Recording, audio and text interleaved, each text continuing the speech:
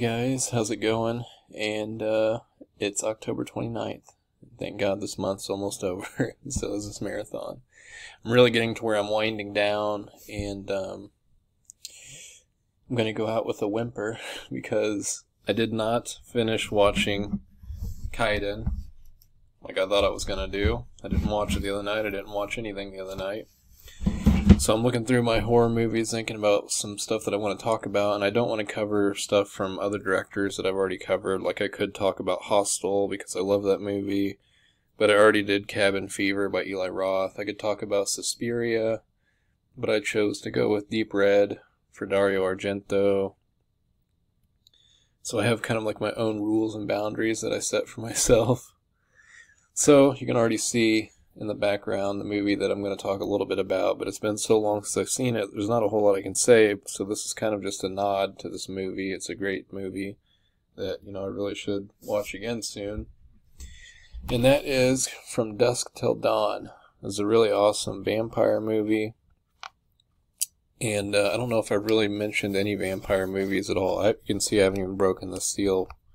I bought this used from a uh, used movie store that doesn't exist anymore. It really stinks, but anyways, this is from Robert Rodriguez and from Quentin Tarantino, and it stars Quentin Tarantino. It also stars George Clooney. I'm sure that a lot of people already know about this, have already heard about it. But if you haven't, you definitely need to check it out. It says an action extravaganza by Roger Ebert. And it is filled with action. It's very intense and but it involves vampires. So yeah, I'd put it in the horror category personally. And I might have found out about this from the upcoming horror movies too. And I, you know, I think I originally rented this from like a family video. But yeah, it the fact that it stars Quentin Tarantino and George Clooney is a pretty big deal, and it has Juliette Lewis, and it might have Danny Trejo. I don't remember. But I'll read the back of it first. Let's see what it says. Except for, you know, Roger Ebert apparently liked it. It says it's nonstop thrills when George Clooney, uh, we all know who he is. It says The Perfect Storm and Three Kings. Why doesn't it say ER? and Quentin Tarantino from Pulp Fiction says, Star as the Gecko brothers, two dangerous outlaws on a wild crime spree. After kidnapping a father and his two kids, and one of them is Juliette Lewis, the Geckos head south to a seedy Mexican bar to hide out in safety. But when they face the bar's truly notorious clientele, they're forced to team up with their hostages in order to make it out alive. And one thing I remember about this movie at the beginning that's kind of memorable is that uh, Quentin Tarantino's character is like a real sicko. Like they're both criminals. They kidnap this family. But you know, Quentin Tarantino is really trying to come on to Juliette Lewis, like trying to force his way onto her, from what I remember. George Clooney seems more of like the level-headed criminal who just wants like money or whatever, and uh, you know, Quentin Tarantino's a little more of the sicko.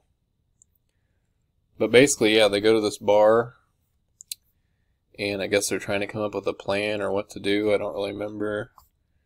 But in the bar, I remember there's a band playing, and just like when it gets dark at night or whatever, like everybody just turns into vampires, like in the bar.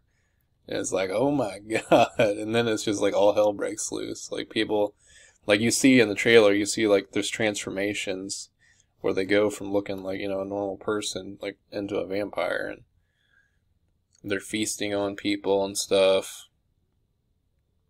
Um, so I guess I don't know. I think I remember the band turning into vampires. I don't know if it's just like the people that work there, and then maybe the people that were drinking were like victims.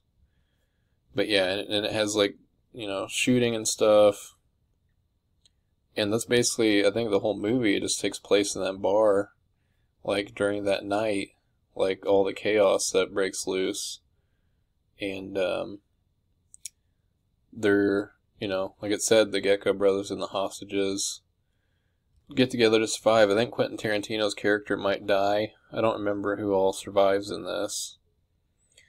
But I do know that some of the main characters die, pretty sure.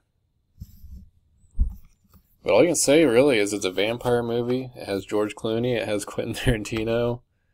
And it, it gets right into the craziness pretty early on, you know, and there's blood and gore and stuff too, and explosions.